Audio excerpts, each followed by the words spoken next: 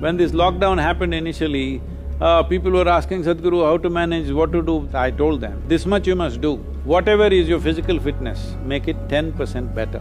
Your mental capabilities, ten percent better. Your emotional balance, ten percent better. Whatever is the nature of your work, your competence, ten percent better. This is the time to attend to many things that need attention but we've not been able to pay attention to. So let's make use of this time and uh, come out of this as better human beings. This uh, lockdown has been a great opportunity for me to really crank up my sadhana to a new level. We've been given, you know, certain sadhana to help boost our immunity and certain supports like that to help keep us healthy. And we have this new uh, practice called Simha Kriya, which increases your lung capacity, uh, which Sadhguru gave specifically for this purpose.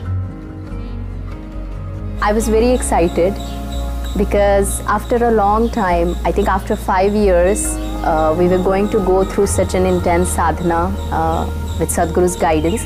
So I feel like just it's a step by step process for me, and uh, every day I see that something is opening up.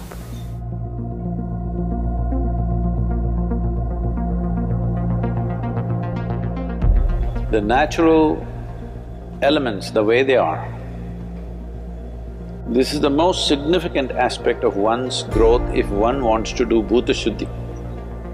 All the practices that you're doing, whether it is Surya Kriya, Shakti Chalana Kriya, all of them are from the basis of Bhuta Shuddhi system. I want you to know the immensity of doing these sadhanas which are essentially extracts from Bhuta Shuddhi with elements, strong elements. It's been really um, sort of a mind-blowing experience to be able to do my sadhana every day in such powerful spaces.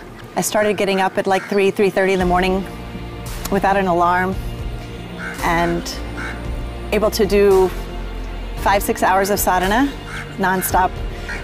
It's very hard to describe, but um, just feeling like you're melding into the elements there. And what I noticed for myself is after those days, you know, of intense weather, the body became so much more vibrant. Like just through the whole day, that vibrancy just stayed on. Exposing ourselves in the outside, be it sun or the wind or the rain or in the evening, uh, especially uh, since April, we have been doing uh, Paurnami chanting in the nights in front of Adiyogi between 8.30 to 10 o'clock. It's one of a very powerful situation that we are going through. When I opened my eyes and looked at Adiyogi after the chant was over, it was too much energy to contain. It was like something I have dropped there to never pick up again. The main thing that has impacted my sadhana is the guided asana sessions that they are conducting.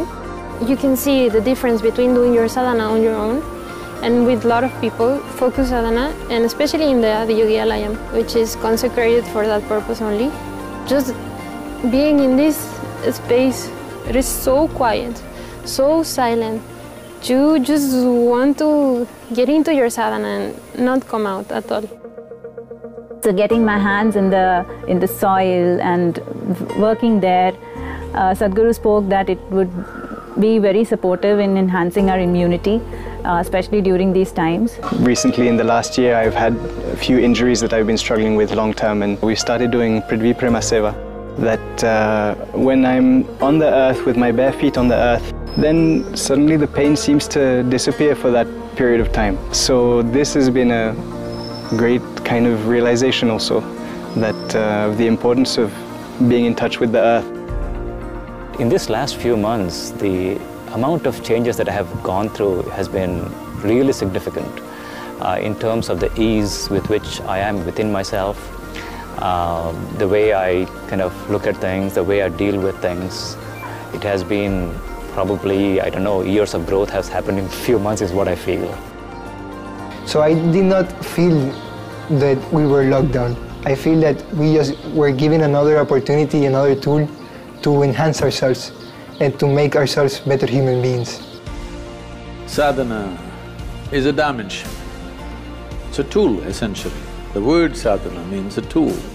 But it is that kind of a tool which makes you intense, dynamic and conscious. So all the sadhana that you're doing essentially is in a way to capture little more life. That if you sit here, you're little more life. If this becomes more life than the way it is right now, now in your awareness, that will be bigger than your body, that will be bigger than your thought, that will be bigger than your emotion because the life that you are has become big.